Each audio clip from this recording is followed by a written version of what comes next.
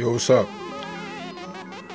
Say you got an AK-25, I mean a, a COD 25 or any keyboard, and it's not functioning with your program right. Well, mainly this keyboard right here. Um, sometimes when you download the, program, the drum pads don't link up with the drum machine. Like this, for example. Like when I press, when I press this one, it links up. Boom,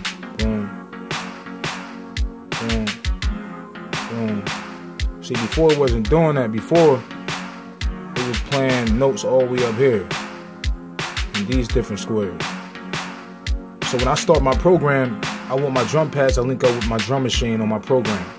And how I do this, or how I get any knobs or any any buttons, like if I press the play button, now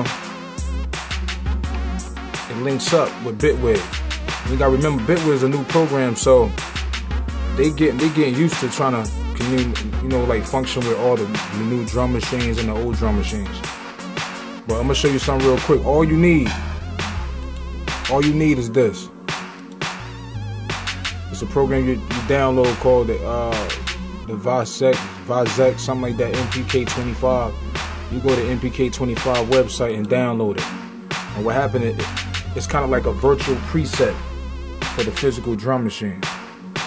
If you notice, let me take me go to presets. See, I got an option. I got my different presets. I got, you know, Reasons, Cubase, Fruity Loops. So whatever program I'm using, I can set all these knobs and buttons that's compatible to this, to the program. The preset that's already in here, they the ones that's already compatible with that program. See, I had to put Bitwig in here you know Bitwig was already inside the program, the, uh, the DAW. But I had to design it myself with the drum pads had to link up right. And what you have to do, you have to use this program right here. Hold on, I'm gonna cancel all this because it's already linking up. So a lot of people don't break stuff down, they be confused with it. And make a long story short, you got the knobs, you got the pads, all this shit is common sense. It's all about just clicking clicking one of the knobs and changing the note. You change the note on this one. You change the note the same as your drum, your default drum pad inside your program. Now once you set everything the way you set it, then what you do, you save it a couple ways.